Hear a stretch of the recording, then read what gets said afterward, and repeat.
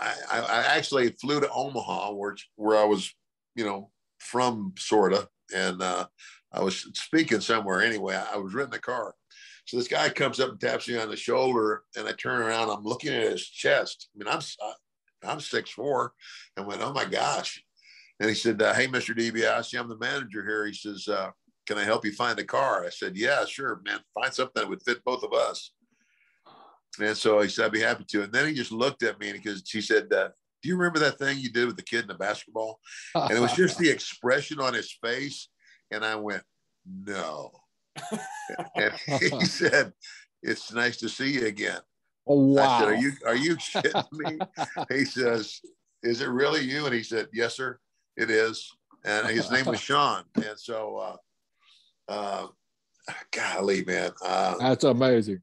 Wow. I, I, you know, and, he, and then he then he said, "You're really going to love this." He said, "I actually went to college on a basketball scholarship." I said, "See what I did for you, kid." and I got his I got his information, and uh, but I lost it. I, you know, if, if I if they could find that guy, they, they I know the company do a story on him.